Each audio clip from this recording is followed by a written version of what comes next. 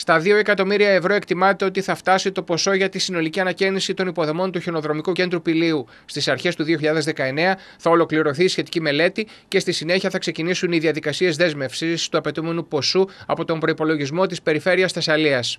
Έχουμε κάνει μια πρώτη ανάθεση καταγραφής του κόστους, μιας τάξης μεγέθους, προκειμένου να ξεκινήσουμε τη διαδικασία μελέτης για την αναβάθμιση των υποδομών.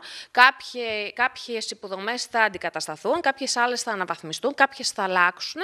Ξεκινάμε λοιπόν τώρα, είμαστε σε ένα καταρχήν στάδιο να δούμε για τι κόστος μιλάμε, προκειμένου να προγραμματιστεί αυτό μέσα στο 19 και να γίνουν οι δεσμεύσεις των πιστώσεων.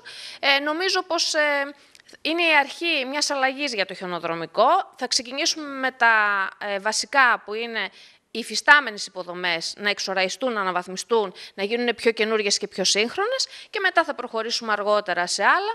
Ε, βρισκόμαστε λοιπόν στη διαδικασία να μας αποτιμηθεί, ε, να γίνει καταγραφή όλων αυτών και να αποτιμηθεί το κόστος προκειμένου να δημοπρατήσουμε. Ο εξυγχρονισμός των εγκαταστάσεων του χιονοδρομικού κέντρου που χρονολογείται από το 1968 θεωρείται κάτι παραπάνω από απαραίτητος. Εμείς κάθε χρόνο κάνουμε την ετήσια συντήρηση και τώρα φέτος την πενταετία όπως προβλέπεται από τον νόμο, η οποία περιλαμβάνει περαιτέρω εργασίες.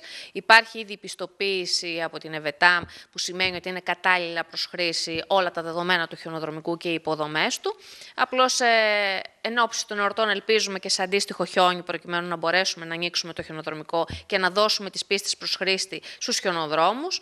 Από εκεί και πέρα, πέραν αυτού το οποίο, ξέρετε, δεν είναι τόσο απλό. Όχι γιατί είναι παλιές υποδομές, αλλά γιατί είναι ένα χιονοδρομικό το οποίο είναι ασύμφορο οικονομικά, με την έννοια ότι είναι μεγαλύτερα τα έξοδα από τα έσοδά του. Είναι χαμηλό το ύψος στα χάνια και αυτό είναι ένα πρόβλημα που ταλανίζει με βάση και τις γραφειοκρατικές ατραπούς που ακολουθεί αυτό το κράτος για τις ανώνυμες εταιρείες, ταλανίζει εμάς ως περιφέρεια προκειμένου να το λειτουργούμε όχι από άποψη οικονομικής, αλλά από άποψη διαδικαστικής.